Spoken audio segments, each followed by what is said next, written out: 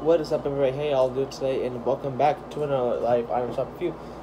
Okay, so I do want to apologize in advance for yesterday. Uh, I just forgot to, and plus I didn't feel like it, and there was nothing really good. All he had was a um, golf skin and the um, the driver's pickaxe. So, anyways, the metal mask bundle is back. So you got um, Zadie, Metal Mouth, Spiked Mace, and two challenges for skins. And for those challenges, you gotta do quests to get these two other styles, so which is pretty cool. Or you can buy the skin separately without all you do had the challenges, so pretty cool. Um, you got Frostwing Glider, and we got um, Valkyr. Um, oh my gosh, see. Hadrovit um, bundle is back. I don't know if I said that right, but um, we have him. The Shadow Puppet um, glider, which comes into two styles, the default, and then we got the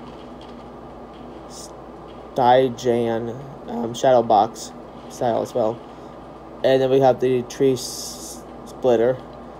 Uh, Volley Girl is back, so is Bash. We have the House Wheat emote, which actually came in a couple days ago. Um, First, Twilight, Wrap, Few, and Little Bounce.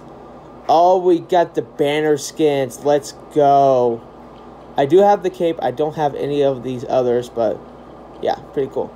And of course, Street Fighter's still here. Um, the El Chapulín, Colorado um, skins are still here, so it's rare. And yeah. So that is going to do it for today's Item Shop review. Hope you guys enjoyed it. If you guys did, make sure to leave a like, comment, subscribe, and use my free support credit code. Coach Gray 2012. And make sure to subscribe to his channel. I'll have a link in the description below. I'll be having the links. I'll have his channel link and every single item shop reset. So you guys do not miss out. Um, check him out. He does amazing giveaways. So, um, yeah. So until next time, guys, say have a good day. And I'll see you all in the next one. Peace out.